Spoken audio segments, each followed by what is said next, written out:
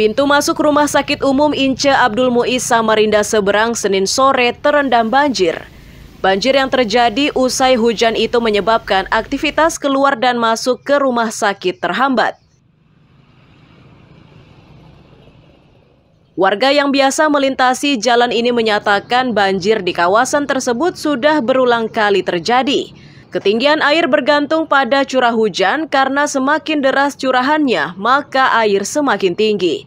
Warga tidak mengetahui secara pasti penyebab banjir di kawasan tersebut.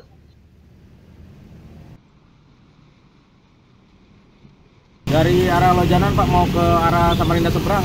Eh, agak dalam apa enggak Pak? Lumayan dalam sih karena tadi sempat hujan cukup deras. Cukup deras ya Pak ya.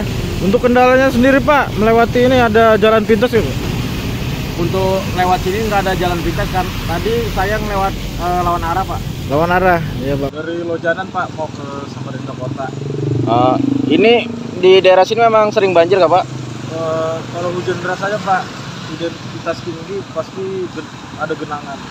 Kira-kira banjirnya kenapa nih Pak ya? Eh, kurang tahu pasti Pak yang penyebabnya apa. Tapi memang sering banjir sini kalau hujan. Sering Pak. Pemerintah Kota Samarinda diminta segera mengatasi masalah banjir di kawasan rumah sakit ini agar aktivitas warga tidak terhambat. Amir Hamzah dan Iswanto melaporkan dari Samarinda.